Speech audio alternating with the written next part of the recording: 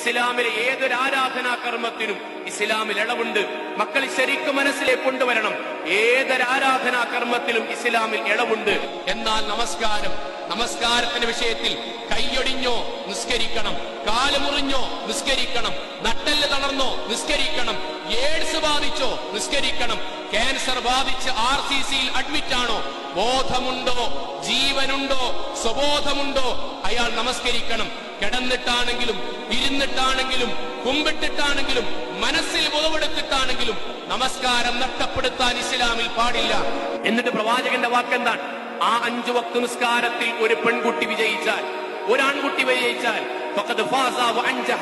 ബാക്കിയുള്ള ചെറിയ പാപങ്ങൾ മുഴുവൻ അല്ല പുറത്തു കൊടുക്കും സ്വർഗത്തിലേക്ക് മാലാഖമാർ കൂട്ടിക്കൊണ്ടുപോകും. അല്ല അഞ്ചു വക്ത നമസ്കാരത്തിൽ ഒരാൾക്ക് പിഴവ് പറ്റിയാൽ എന്തെങ്കിലും കാരണങ്ങൾ കൊണ്ട് അത് നഷ്ടപ്പെടുത്തിയിട്ടാണ് ഈ ദുനിയാവിൽ നിന്ന് മരണപ്പെട്ടു പോകുന്നതെങ്കിൽ. പിന്നീട് പടച്ചതമ്പുരാന്റെ മുന്നിൽ ഞാൻ നാട്ടിലെ കുട്ടികൾക്ക് ഉപകാരമുള്ള ഒരു നല്ല കുട്ടിയായിരുന്നു എന്റെ കൂട്ടത്തിൽപ്പെട്ട ഒരു സാധുവായ പെൺകുട്ടിക്ക് വീടില്ലാതിരുന്നപ്പോൾ അങ്ങാടിയിലുള്ള ബക്കറ്റുമായി നടന്നിട്ട് പിരി പിരിവെടുത്ത് ആ കുട്ടിയെ സഹായിച്ചയാളായിരുന്നു. നാട്ടിൽ പ്രളയം വന്നപ്പോ വീടും കൂടും നഷ്ടപ്പെട്ട ആളുകൾക്ക് പള്ളികളിൽ വെച്ച് നടക്കുന്ന പിരിവുകളിൽ ആളുകൾക്ക് പൈസ ശേഖരിക്കുന്നതിൽ ഞാൻ മുൻപന്തിയിലുണ്ടായിരുന്നു. നാട്ടുകാർക്കും കുടുംബക്കാർക്കും വേണ്ടപ്പെട്ടവളായിരുന്നു. പടച്ചതമ്പുരാൻ നയാ പൈസക്ക് പോലും പരിഗണിക്കൂല. എന്തേ കാരണം?